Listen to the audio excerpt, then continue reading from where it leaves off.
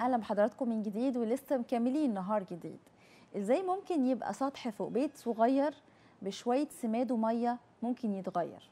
مش يتغير بس ده ممكن يبقى جنة.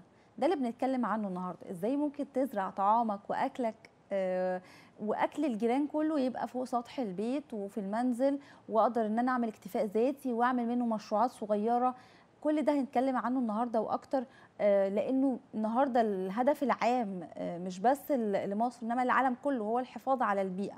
إزاي ممكن نحافظ على البيئة من خلال الأكل ال organic ومن الزراعة ال organic اللي بتكون في إطار المساحات الصغيرة زي السطح زي البلكونة المشروعات الصغيرة اللي ممكن تقوم على المساحة دي ممكن تكون إيه آه كمان ال ال الزراعة نفسها أكيد هتبقى مختلفة وفيها تكنيك مختلف. هنعرف تفاصيل أكتر مع ضيفي العزيز مشرفني منورني في الاستوديو المهندس الزراعي أنس الجنيدي خبير زراعة أسطح. أهلا بيكي أنس منورنا وشرفنا. أهلا وسهلا بحضرتك. برحب بحضرتك وكل السادة المشاهدين. أشكرك.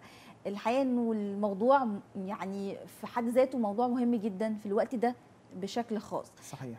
أكيد احتياجنا ليه كبير. لكن خلينا الأول بداية كده نتكلم عن مبادرتك. مبادرة زراعة الأسطح. اتكلمنا عنها بقى لها قد إيه والفكرة جات لك منين؟ في البداية إحنا عملنا مبادرة. الكلام ده من ثلاث سنين. بالتحديد 3 5 2020 كان في الوقت ده التاريخ بالظبط. آه بالظبط آه. كورونا آه ده أيام الكورونا. كورونا بالظبط كده. كنا ساعتها في وقت كورونا وكان كل الناس قاعدة في البيت. آه كنا بندور أو الناس كلها كانت بتدور بتدور على حاجة عاوزة تطور نفسها في المجال الزراعي. آه عن طريق الاونلاين بتدور على محاضرات آه وخصوصا مجانية عشان طبعا الوضع الاقتصادي في الوقت ده ما كانش ما كناش بنلاقي. فابتديت وبادرت أنا ومجموعة من من اصدقاء السادة المهندسين الزراعيين ابتدينا وعملنا مبادرة اسمها بلاستيدا والمبادرة دي هدفها رقم واحد إن هي بتقدم الدعم الفني لكل المزارعين مجانا. هايل. بتقدم الدعم الفني لكل المزارعين مجانا بتكتب المقالات اليومية في صورة بسيطة مبسطة لكل الناس تفهمها المزارعين تفهمها الطلاب تفهمها المهندسين الزراعيين تفهمها. الموضوع ابتدى يكبر معانا ولقينا رواج عليه و فيعني ابتدى يتابعنا في رد فعل حلو. رد فعل كويس جدا. مم. ابتدى يتابعنا 80 ألف واحد لحد دلوقتي. هي. عن طريق صفحتنا على الفيسبوك بيتابعنا 80 ألف واحد. دربنا في خلال الثلاث سنين 30 ألف طالب.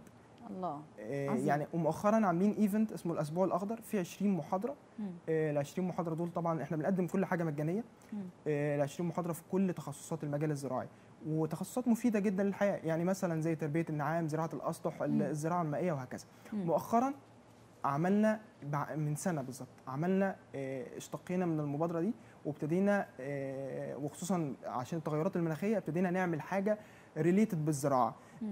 وخصوصا الزراعة المنزلية. ابتدينا بزراعة الأسطح وسمينا المبادرة مبادرة ازرع سطح بيتك. هي. زراعة الأسطح والبلكونة. تخيل إن أنت تزرع سطح بيتك. مم. حاجة فوق يعني فوق الجمال. مم. ابتدينا على نفسنا وجربنا عندنا. الموضوع نجح معانا وبطرق مبتكرة عملناها وإن شاء الله هنذكرها مع حضرتك. آه يعني بطرق مبتكرة ابتدينا نوصل لأفضل حاجة في زراعة الأسطح بتديك أفضل إنتاجية بأقل تكلفة. هايل جميل جدا وهعرف منك إزاي أحول سطح كان مليان كراكيب وبواقي قديمة موجودة في في المنازل وفي البيوت لسطح جنة. يعني زي ما بيقولوا كده في كل ما لذ وطاب أكل يتاكل آه حاجات زينة طبية. يعني الفكرة آه هايلة طبعا لكن إزاي تتحقق؟ الموضوع إحنا لما ابتدينا على نفسنا آه لقينا الموضوع كالآتي. م. أول حاجة مشكلتين كانوا بيواجهونا. المشكلة الأولى وهي الأحمال. يعني هل التربة لما تبقى حملها هيكون هيسبب مشكله للسطح عملنا عملنا دراسات. على مدار سنة بالظبط مع مهندسين مدنيين وقدرنا نتوصل لتربة خفيفة جدا وبز... وفي نفس الوقت غنية بالعناصر الغذائية اللي بيحتاجها النبات. هي. فدي أول مشكلة حليناها. تاني مشكلة وهي مشكلة المية.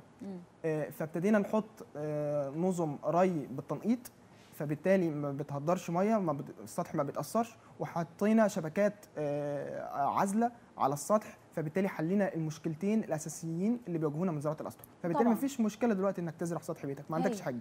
أي حد ممكن يخاف يقول لك تصدع الحيطان تعمل تأثير على المباني في مشكلة. الموضوع ده اتحل مع التربة الخفيفة ومع شبكات المية والصرف اللي أنتوا قدرتوا بالظبط كده. آه هايل.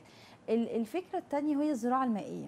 الز- إيه- إيه- الزراعة المائية أنتوا دخلتوها في نفس ال- المبادرة. موجودة آه موجودة. آه. آه، إيه المقصود من الزراعة المائية وهي عبارة عن إيه؟ هي- بتفرق عن الزراعة الهوائية إزاي؟ طيب خلينا نعرف الزراعة المائية اللي هي ال hydroponic اللي إحنا بنسمع عنها دايما ال hydroponic.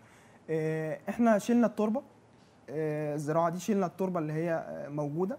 وابتدينا نعوضها بالمية آه، عن طريق إن إحنا بنوفر في المية كل العناصر الغذائية اللي بيحتاجها النبات. النبات بيحتاج 16 عنصر وال16 عنصر موجودين آه، في المية. فبالتالي آه، دي الزراعة المائية. بتكون في نظام مغلق وفي دايرة مغلقة ولكن يعني لازم بتحتاج متخصصين. يعني لازم درجة بي اتش معينة ودرجه أملاح معينة في المية. فبتحتاج أكتر متخصصين. الزراعة المائية و- بالنسبة بقى للزراعة الهوائية. آه. الزراعة الهوائية آه، وهي نفس فكرة الزراعة المائية بس ما بقاش موجود المية بكميات أكبر. آه، بتكون بيكون النبات مزروع وبيكون في رشاشات بتعمل آه، بيئة ضبابية تحت النبات. والبيئه الضبابية دي أو الرشاشات دي بتكون برضو غنية بالعناصر الغذائية. هي دي الزراعة الم- المائية والهوائية. والزراعة التقليدية بتاعتنا الزراعة التقليدية آه اللي أنتوا. اخترتوا فيها التربة الخفيفة آه دي اللي إحنا بنزرع بيها الزراعة التقليدية وبرضو متاح إن إحنا نعمل الزراعة المائية برضو طيب ال- السطح البيت ده هل بنحتاج مساحة معينة؟ يعني عشان أزرع فيها هل لازم مساحة معينة مش أقل من كذا ومش أكتر من كذا؟ على أي مساحة. يعني أي أنت مثلا مساحة. لو عندك 20 متر تقدر تزرع عليهم مم. عندك آه، 50 متر عندك 100 متر عندك 200 متر تقدر تعمل مشروع استثماري مم. عادي مفيش فيه أدنى مشكلة. إحنا في صور بدأت تتعرض معانا؟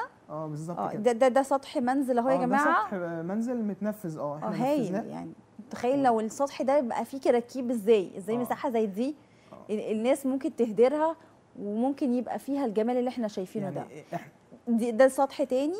آه بالظبط كده. آه. دي آه. كلها أسطح آه، نفذناها بال آه، يعني دي شبكة الري بالتنقيط محطوطة وال- والطبقة العازلة و- ودي ال- ال- الأسس فيها التربة الزراعية الخفيفة يعني. في حاجات في براميل؟ بتحتاج براميل اللي هي الشجر؟ آه، آه، يعني خلينا بس نقول إحنا أنت تقدر تزرع إيه فوق سطح بيتك طيب أنت تقدر تزرع آه، رقم واحد كل أنواع الخضر مم. آه، طماطم آه، خيار بسلة كل كل أنواع الفلفل ألوان كل أنواع الخيار كل كل أنواع الخضر بشكل عام هي آه، نباتات طبية عطرية طبعا كل نباتات الزينة والزهور والورد وهكذا. آه، تقدر تزرع أشجار ال- الفاكهة كلها مم. الموالح زي عظيم. برتقال وليمون ويوسفي تقدر تزرع عنب آه، النواه الحجرية مثلا زي آه، ال- المشمش والخوخ والبرقوق كل ده تقدر تزرعه فوق سطح بيتك هي يعني أنتوا خليتوش حد نفسه في حاجة. آه بالظبط كده. خضر وموجود فاكهة نباتات زينة نباتات عطرية طبية كله. بالظبط ممكن كده. آه. يتزرع فوق سطح ال- البيت. آه بالظبط كده. في حاجة برضو مهمة يعني آه. انت مثلا كل فرد بيحتاج لمتر ونص مسطحات خضراء عشان يقدر يستمتع بهواء نقي. مم. نبص على مدينة زي القاهرة. لو إحنا عملنا تصوير جوي من فوق مش هنلاقي أي حاجة خالص مسطحات خضراء. صحيح كلها فبالتالي جبال أسمنتية. فبالتالي الهواء أصلا ما بقاش نقي. آه. آه، فاحنا لو عملنا الفكرة بشكل عام على مدينة زي مدينة ال- ال- القاهرة أول حاجة هنبقى شكلنا كويس قدام الناس في التصوير الجوي. آه، للعالم كله. رقم اتنين هن هننتج غذائنا بنفسنا. آه، رقم ثلاثة هن هنزود نسبة الأكسجين هنخفض ثاني أكسيد الكربون آه، هنحافظ على الصحة بشكل عام فالموضوع يعني الموضوع مشروع قومي فعلا. يعني حاجة لازم تتنفذ. هي يعني أنا شايفة الأهداف اللي بيتكلم عنها آه، طبعا أنس مهمة جدا. إزاي آه، يعني يبقى شكل القاهرة من فوق شكل جمالي. آه بالظبط كده. وكمان إن أنا أكتفي ذاتيا بخضروات والفاكهة وهيوفر لي في الإمكانيات وهيساعد معايا بشكل كبير جدا. الجيران النهارده بتوع البيت كله لما يبقى كل حاجة آه، متوفرة. متوفرة وموجودة فوق سطح البيت ده مهم. البلكونة بتدخل معانا ولا السطح بس؟ البلكونة آه نقدر نزرعها بالح- بالورقيات زي مثلا النعناع وال والكزبرة وكل الورقيات بشكل عام نقدر نزرع نز- نزرع بها البلكونة وكمان بنباتات الزينة زي ال- الورد والزهور وهكذا. جميل. ندخل بقى في ال- ست البيت البسيطة. هل يعني في حاجات المفروض ما ترميهاش ممكن تستخدم في السماد والكومبوزيت لل... آه، آه، للزراعة؟ بش- بشكل عام كل المخلفات النباتية تقدر. تحطها. يعني مثلا آه، قشر الموز قشر البرتقال وهكذا اي أي مخلفات نباتية عندها تقدر تحطها في الكومبوست وتسيبها فترة بفعل الكائنات الحية الدقيقة هتتحلل وهتصبح آه، سماد. سماد بالظبط. سماد و organic التسميد. كمان الشربات. كمان بيدخل في ال- في بالظبط الموضوع آه يعني في حاجات آه، المفروض إن ست البيت تاخد بالها منها ممكن تعمل لها زي إعادة تدوير يعني أنا لما أدخلها النهارده مع الكومبوزيت في آه، للنبات هيساعد يبقى سماد طبيعي بالظبط كده وما آه. رميتش حاجة وما هدرتش حاجة. طبعا طبعا. هايل. شايف الفكرة دي عشان تتنفذ محتاجة إيه؟ الفكرة دي محتاجة إن إحنا نغير الثقافة عند الناس وده اللي إحنا بنعمله حاليا عن طريق إن إحنا بنقدم آه، عن طريق ال social media وعن طريق آه، يعني عن طريق ما شاء الله مصر الزراعية آه، بنناشد آه، بنقول آه، بن- بنناشد الناس إن هي تغير الثقافة عندها. إن هي ما تخافش. هو هو متخيل إن هو لما يزرع سطح بيته إن السطح هيبوظ. لأ إحنا مم. حلينا المشاكل اللي بتواجهك. وكمان آه، هتقدر آه، بأقل التكاليف بالنظام اللي إحنا عاملينه. وإن شاء الله ال- مفيش مفيش أي مشاكل تواجهنا إن شاء الله بأمر الله. غير مشكلة بس الثقافة عند الناس. هايل آه، من الحاجات اللي الواحد هيفكر فيها وهو بيزرع سطح بيته لك أول حاجة أنا ممكن يبقى فيه آفات. ممكن يكون في آه، أمراض للنبات ممكن يكون في حشرات عندنا القوارض عندنا الطيور عندنا حاجات كتيرة جدا. إزاي بنحمي الزراعات اللي فوق السطح من المشاكل دي؟ هو أصلا بشكل عام يعني سطح بيتك أو كل 90% من أسطح المصريين كلها آه، مليانة كراكيب والكراكيب دي أصلا هي بيئة للقوارض وال- والحشرات. صحيح. فبالتالي أنت أو رقم واحد لما تنظف سطح بيتك هيكون آه، القوارض وال- والحشرات هت هتروح يعني. آه، اتنين إن إحنا أصلا بنستخدم آه، المبيدات بتركيزات معينة. علشان إن إحنا بنحمي آه، بنحمي النبات آه، المبيدات مش غلط بس. الفكرة فيها آه، الثقافة برضو عند المزارعين. في درجة أو في في حاجة لازم نطلع عندها آه، المنتج ما ينفعش نطلعه قبل المدة دي اسمها ال PHI ما ينفعش نطلع آه، المنتج قبل درجة ال PHI دي قبل ما المبيد يتكسر. يعني وليكن إحنا رشينا مبيد كذا يقول لك ما ينفعش تطلع المنتج غير بعد 10 أيام. أنت جيت طلعته مثلا بعد خمس أيام. طبيعي إن هو هيضر فرح الناس. بالثمره قوي ومتبسط بيه وعايز ي- هيضر الناس. فأنت آه. لو التزمت بال PHI. مع آه، آه، تخفف المبيدات مع بعض المستخلصات الطبيعية آه، اللي إحنا برضو بننصحك بيها. فبالتالي مش هتواجهك أي مشكلة إن شاء الله يعني لازم أدي والتزم بالتعليمات وأدي كل حاجة وقتها آه،. وحقها بالظبط زي فكرة كده الواحد لما بيجي يمشي مع الدكتور على المضاد الحيوي أو على ال- الأدوية ويلاقي نفسه اتحسن خلاص بقى هو آه، عايز يبطل مع إن ما يعرفش. آه ممكن يرجع تاني ال- ال- الفطر أو البكتيري ده يرجع ينشط مرة تانية ويبقى أقوى من الأول آه طبعا فإحنا محتاجين نوعي الناس بالثقافة دي ألتزم بالشروط بتاعه ال- ال- السماد أو بتاعه ال- ال- المبيد أو ايا كان ال- التفاصيل الخاصه بزراعه الأسطح لازم أبقى ملتزم بيها عشان آخد منتج أورجانيك أو منتج صحي. صح؟ مظبوط صحيح. تمام. إيه- إيه الحاجات اللي شايف إنه آه، آه، يعني أكتر بتنجح في في زراعة الأسطح؟ الخضر بشكل. عام ودي اللي كل بيت مصري بيحتاجها. يعني الخيار آه، الطماطم الفراولة ال- الكنتالوب آه، كل الورقيات بشكل عام. الخس طبعا خس خس الكابوتشا. آه، وفلفل ألوان. آه، كل الحاجات دي كلها بتنجح بشكل كويس جدا. هل الواحد ممكن يعمل مشروع آه، ويبقى كمان مشروع ربحي من زراعة الاسطح آه بالظبط كده. ولكن أنت يعني مش مم. هتزرع بقى أصناف كتير. يعني أنا لو لو بزرع الاكتفاء الذاتي بزرع مثلا آه، شوية بتنجان على شوية طماطم على شوية فلفل وهكذا. لكن أنت مثلا لو أنت هتعمل مشروع استثماري مم. فبالتالي لازم تزرع صنف واحد آه، علشان ال- الموضوع يكون معاك آه، مجزي. فتزرع صنف واحد آه، وتبتدي تعمل عليه ال- ال- المعاملات المختلفة وهتطلع منه إنتاج كويس جدا وبيبقى أكتر من الأرض أصلا لأن إحنا بنعمل تكثيف فوق فوق السطح. تكثيف اللي هو الزراعة الأفقية أو ال- الرئاسيه آه ممكن آه. آه. نعمل الزراعة ال- ال- الأفقية وحتى لو هي على على الأرض زي اللي موجودة معانا في اللي كانت موجودة معانا في الصور آه برضه بتنتج أكتر من الأرض الطبيعية لأن إحنا بتنتج أكتر. آه طبعا. يعني ال ال ال ال المعلومة دي م- مهمة جدا. الناس اللي عندها فكرة إيه ده أنا ما عنديش مساحة عشان أعمل مشروع إيه وأكتفي ذاتي إيه وأنا هيطلع لي قد إيه السطح ده. ده بينتج أكتر من الأرض. آه بالظبط كده. آه بس المهم إن أنا أستغل المساحة إزاي؟ آه آه أقدر أستغل ال- المساحة مم. وأنفذ عليها بشكل يعني بشكل كويس واتبع الخطوات السليمة والموضوع هيكون معاك الإنتاج كويس جدا. طيب أنتوا بتمشوا مع مع الشخص كل الخطوات؟ يعني هو دلوقتي عايز يقوم بال- بال- بالفكرة من من من A to Z يعني من أول خطوة لغاية آخر خطوة. هل بتمشوا معاه في كل الخطوات؟ بالظبط كده. إحنا من إزاي؟ إحنا بننفذ له المشروع من. بدايته.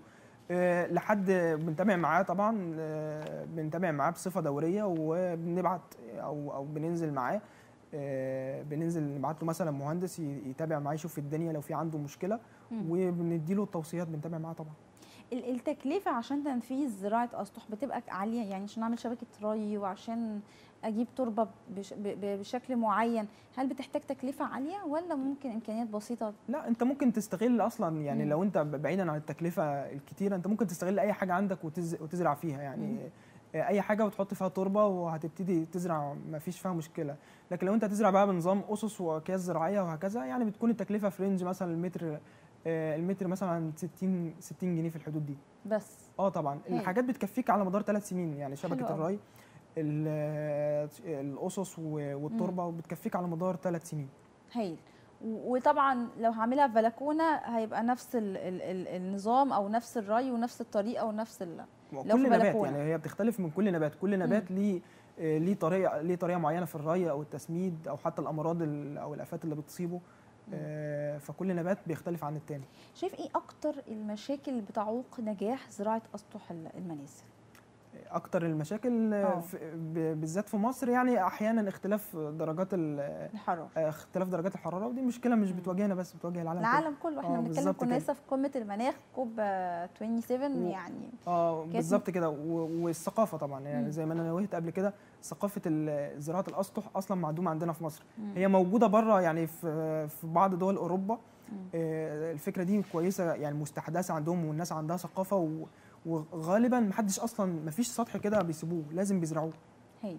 إحنا ممكن نوفر لها حلول أخرى يعني في اقتراحات مثلا نعمل صوب نعمل مش عارفة إيه يعني مشكلة المناخ دي ممكن نحلها بأطر مختلفة يعني ال- الشتاء وال- والسيول والحرارة العالية ممكن إحنا بنحلها بقى بال- بالمحاصيل يعني المحاصيل بنلتزم بالمحاصيل بال بمواعيد الزراعة.